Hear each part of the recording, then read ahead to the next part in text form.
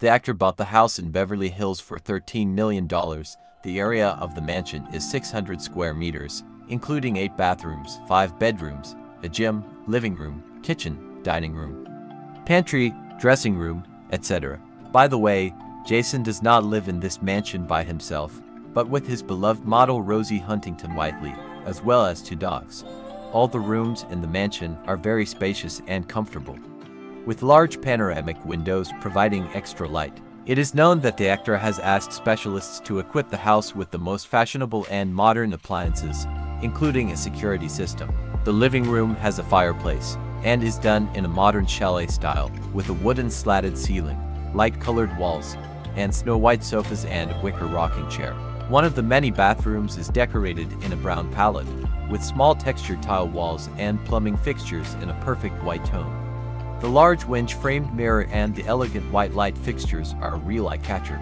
The ceiling in the hall, as in the living room, is upholstered with wooden slats, and the floor is covered with light parquet.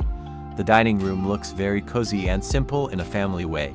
On the right side is a small table with comfortable chairs for six people and in the left corner is a comfortable sofa. Every corner of the dining room has a view of the lovely garden.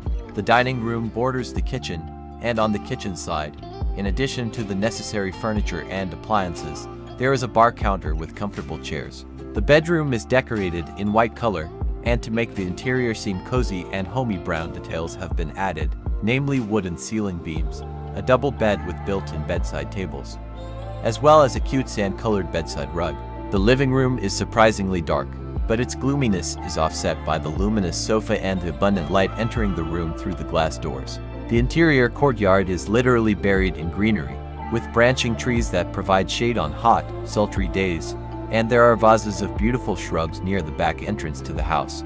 There is an excellent pool in the backyard, as well as an outdoor patio with an outdoor fireplace, a compact table and wooden chairs. The house looks quite rugged, despite the fact that a woman lives there, and the actor and the model bought this mansion together, already being in a relationship. But still looking closer at the photos, you can catch the desire of the inhabitants of this mansion to create a home-like comfort. This is evidenced by comfortable furniture, warming fireplace, paintings on the walls, floor carpets, etc. Also, the coziness is emphasized by the brown tones set by the natural wood used in the decoration of the rooms. After all, it did its job. The house looks great. Really reminiscent of modern Scandinavian homes or alpine chalets, that's all. If you liked the video, don't forget to subscribe to the channel and leave a like. All for now.